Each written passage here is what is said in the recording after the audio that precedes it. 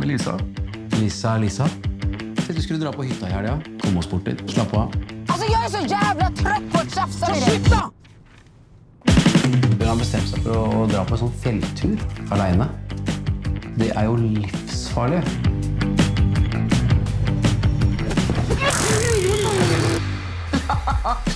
Skulle du, skulle du stryke mig?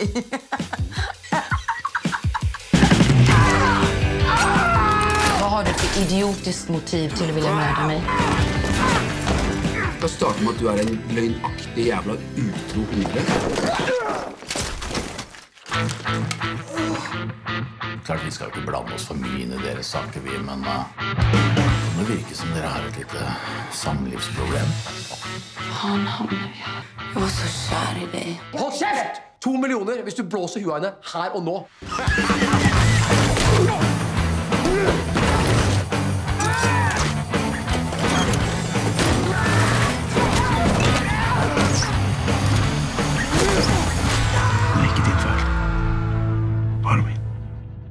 Er intenst.